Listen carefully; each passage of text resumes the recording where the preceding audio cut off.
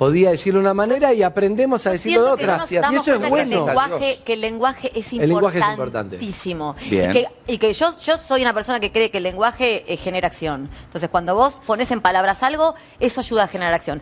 Nosotros tenemos que hoy corregir primero el lenguaje para poder entender este cambio de paradigma que es que hoy la mujer está empoderándose, mal que le pese a muchos Pero, hombres. Flor, mirá lo importante que será esta, esta corriente. Mirá lo importante.